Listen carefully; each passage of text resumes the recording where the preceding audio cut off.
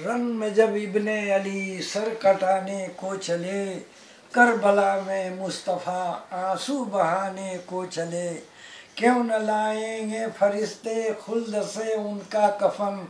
फातिमा भी खुद चली चादर उड़ाने के लिए। उठाकर मश्क कांधे पर अली अब्बास जब चले, नदी पे जाके शाम के लश्कर से यूँ कहे एक मस्क पानी दो मुझे नदी से अर्स किया सक्का हूँ मैं हुसैन के बाली सकीना का।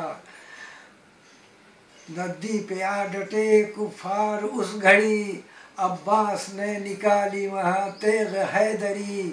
तो ठहरा न कोई उर्सानी हैदर के सामने। यानी अब्बास इब्ने अली पैगंबर के सामने।